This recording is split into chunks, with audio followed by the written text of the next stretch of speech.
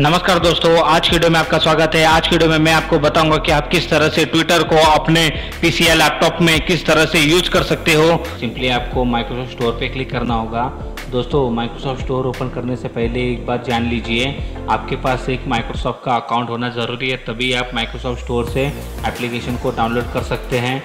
तो चलिए दोस्तों लॉगिन करने के बाद में सिंपली आपको यहाँ पे माइक्रोसॉफ्ट स्टोर पे क्लिक करना है। उसके बाद में सिंपली यहाँ सर्च पे आपको सर्च करना है ट्विटर। उसके बाद में यहाँ देखो, यहाँ पे शो कर रहा है तो यहाँ पे क्लिक कीजिए।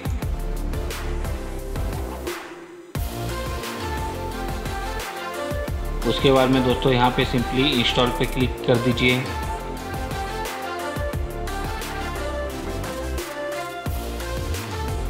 देखिए दोस्तों, ये डाउनलोड हो रहा है।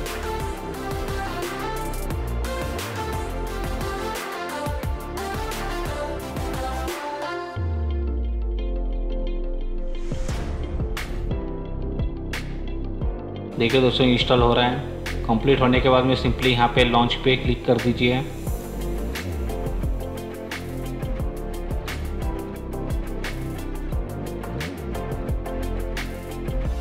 उसके बाद दोस्तों, पे आप अपना फ़ोन ईमेल और यूज़र नेम से भी आप लॉगिन कर सकते हैं। तो सिंपली यहाँ पे आप अपना डाल दीजिए यूज़र नेम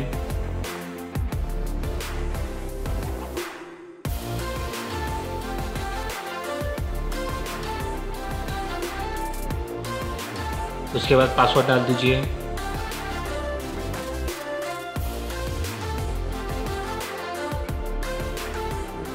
उसके बाद सिंपली यहाँ पे लॉगिन पे क्लिक कर दीजिए।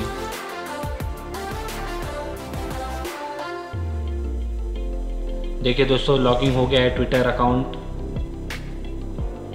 दोस्तों, यहाँ से आप कुछ भी कर सकते हैं, जो आप मोबाइल में करते थे ट्विटर पे।